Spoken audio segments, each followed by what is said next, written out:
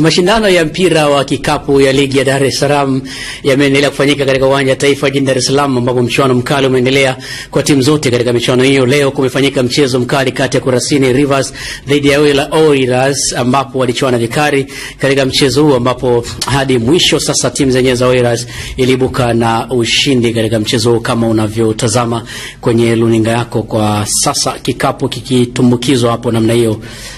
Dar es Salaam nchini Tanzania. Na tukielekea